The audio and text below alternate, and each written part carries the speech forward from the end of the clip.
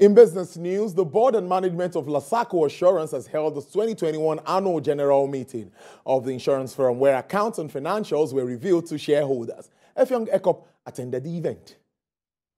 The AGM, which took place in Lagos, showed a company overwhelmed by national and international economic crises. Beginning from EndSARS troubles in the domestic circle to pandemic lockdown, Lasaco Assurance navigated its operations in hard ways to maintain gross premium income of more than 13 billion naira, an improvement by 21% over previous year's performance.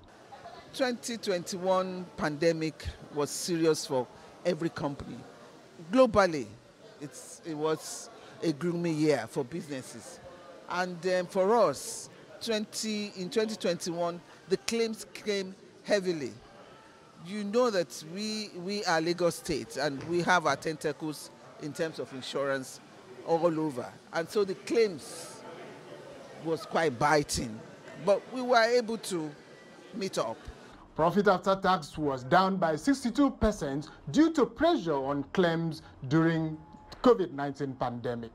Shareholders' funds stayed solid from 7 billion naira to 11 billion naira, drawing positive impressions from shareholders.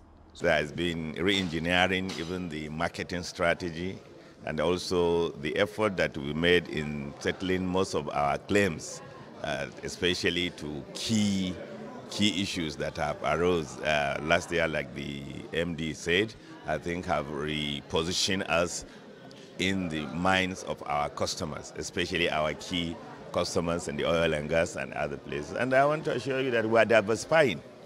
We are diversifying into properties, we are diversifying into uh, investments, we are diversifying into trading. As a shareholder today, I'm very happy. That's why that we are not going to get dividend, but looking at their result, their growth, we are very happy about it. A major drawback at the AGM was non-payment of dividends to investors. Based on what we have put in place for the current year, we will pay dividend in the next year.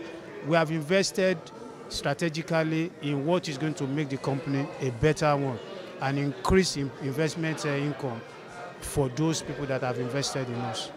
Lasaco Assurance is a listed insurance firm at the Nigerian Exchange. Effiong Ekop TVC News, Lagos.